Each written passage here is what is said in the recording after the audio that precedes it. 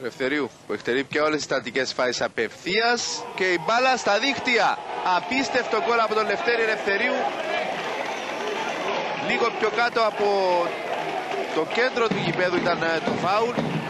10 μέτρα.